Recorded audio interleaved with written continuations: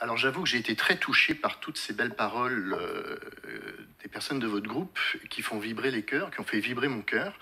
Euh, mais à un moment donné, il faut arrêter le baratin parce que les chiffres parlent toujours et les chiffres finissent toujours par révéler la, vraie réalité. Et malheureusement, cette réalité va être violente pour chaque Grenoblois dans les années à venir.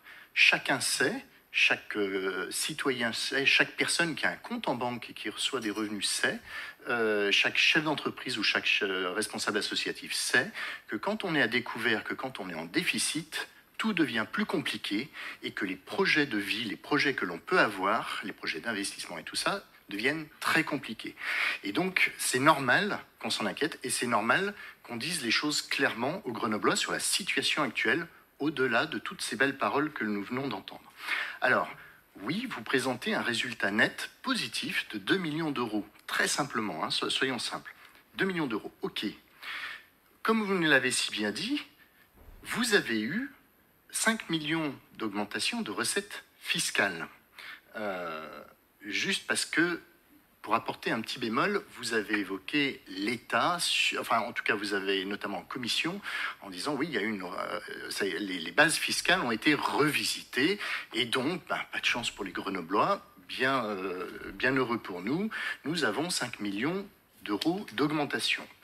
Juste, euh, j'ai sous les yeux un article du journal Le Parisien qui date du 9 septembre 2019 qui titre donc un journal national, qui titre Hausse de la taxe foncière en Isère, la discrète convention entre les maires et le fisc. Signé en novembre 2018, ce partenariat a permis d'accélérer la révision des valeurs locatives des logements et donc d'augmenter l'impôt local. Ce qui veut dire que ce n'est pas la faute de l'État qui a revisité des bases fiscales, c'est qu'à un moment donné, il y a eu un accord qui s'est joué avec l'Association des maires de l'Isère et l'administration fiscale du département de l'Isère pour revoir ses bases fiscales. Je lis toujours cet article. Donc ils viennent de signer, à la demande des élus locaux, une convention cadre de trois ans dont le principal objectif est de, plus, euh, de renforcer l'optimisation des bases fiscales. Il est dit aussi dans cet article, euh, aucun partenariat local euh, n'a eu l'impact massif, inhabituel et en force de ce qui a été mis en place en Isère, et ça vient d'un fonctionnaire du cadastre.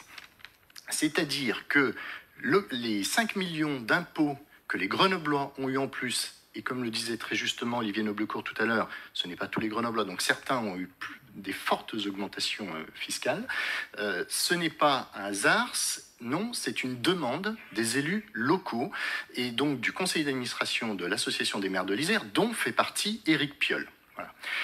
Juste pour dire, donc vous avez eu cette recette fiscale supplémentaire de 5 millions d'euros qui n'était pas prévue, qui vous arrive, euh, qui, nous arrive dedans, tant mieux pour la ville. Ok, dommage pour le contribuable grenoblois.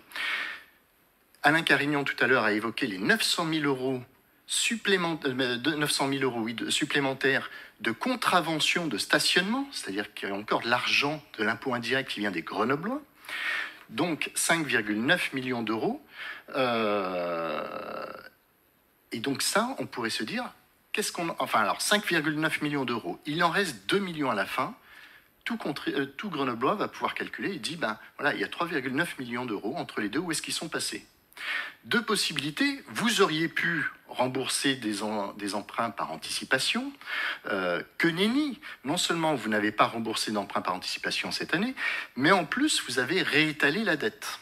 On parlait tout à l'heure de trompe-l'œil, enfin tous les arguments, je ne vais pas les reprendre, ils ont bien été dits, donc non, vous n'avez pas euh, remboursé d'emprunt.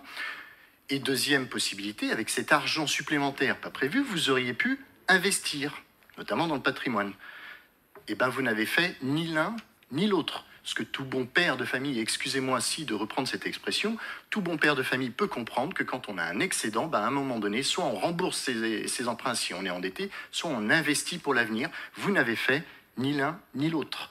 Et la question qui se pose euh, pour 2020 et pour les années suivantes, mais où aller Donc ça veut dire que les 3,9 millions d'euros se sont envolés en fumée dans du fonctionnement. Alors certes avec plein de projets et heureusement, mais pour, du coup, pour les années suivantes, où allez-vous trouver les 3,9 millions d'euros manquants?